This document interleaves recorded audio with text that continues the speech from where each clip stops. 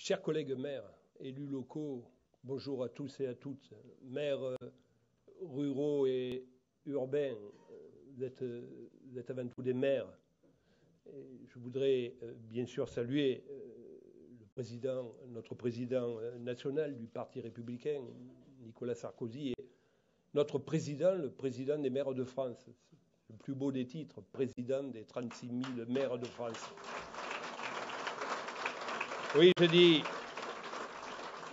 maires ruraux ou urbains, c'est la même chose. Vous savez, on a les mêmes problèmes. Je peux vous en parler. Avant d'être le maire d'une grande ville, j'ai été le maire d'un petit village. Je me suis retrouvé même confronté à plus de problèmes dans mon petit village que dans la grande ville. Donc vous voyez bien qu'on est tous les mêmes et tous unis par euh, euh, ce mandat local chevillé au corps. Alors, mes chers amis, on constate. Constat que tout le monde peut faire, que vous faites tous sur, euh, sur le terrain.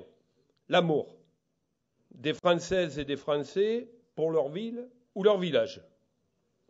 Un attachement fort à leur commune, à leur territoire. Épargné euh, par euh, le doute du politique, dans notre organisation républicaine, le maire, le maire ou les élus locaux, quand je parle du maire, je parle de l'équipe municipale, conservent un repère de crédibilité encore aujourd'hui dans euh, notre euh, idéal républicain. La France euh, de nos territoires, mes chers amis, elle est là, rassemblée. C'est la force des 36 000 communes de France.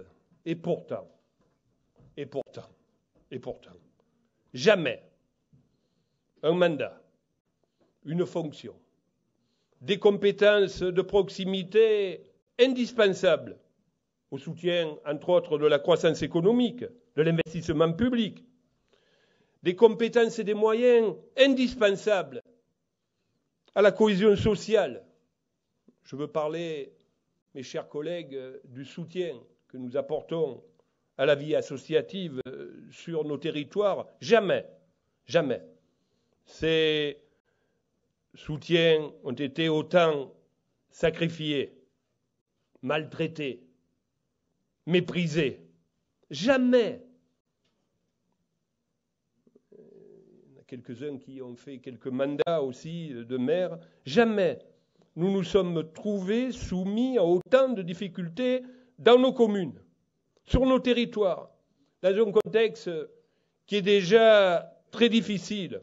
Oui, on a dit ce constat, chacun peut le faire. La baisse drastique des dotations, le transfert de charges non compensées.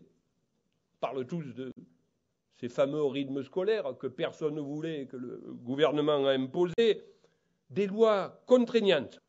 La loi du flot, chers collègues, tous on a tous une fibre sociale, car on ne serait pas réélu si on n'avait pas cette fibre sociale.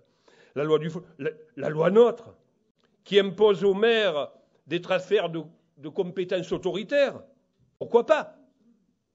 Aujourd'hui, on sait très bien qu'en mutualisant, en travaillant ensemble, en travaillant en équipe, ce n'est pas le, maire de Toulon qui va vous dire que quand le PAC pousse du même côté, on enfonce tous les packs d'Europe. Quand on a quelques défaillances, ça va beaucoup plus mal. Mais aujourd'hui, on nous fait ces transferts autoritaires. Euh, des choix, on nous met face à des choix contraints et forcés. Alors que le citoyen nous a donné légitimement la possibilité de travailler dans le respect euh, des lois, bien sûr. C'est ce que nous nous efforçons de faire, un pouvoir accru donné au préfet aux dépens euh, des maires. Mes chers collègues, nos mandats n'ont jamais été aussi compliqués à exercer. Les élus locaux sont désemparés, Monsieur le Président, désemparés.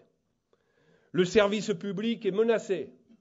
Et attention, menacer le service public, c'est menacer la République, mes chers amis. Il est temps de sortir de cette, impasse injuste, dangereuse, dangereuse pour la vie des gens, car nous travaillons tous. Quand nous sommes élus, à la vie de nos concitoyens, dangereuse pour notre démocratie, dangereuse pour nos territoires. Alors oui, l'alternance, euh, Monsieur le Président, nous la souhaitons. Oui, l'alternance viendra, mes chers collègues. Mais ne vous y trompez pas, tous et toutes. L'alternance viendra des territoires.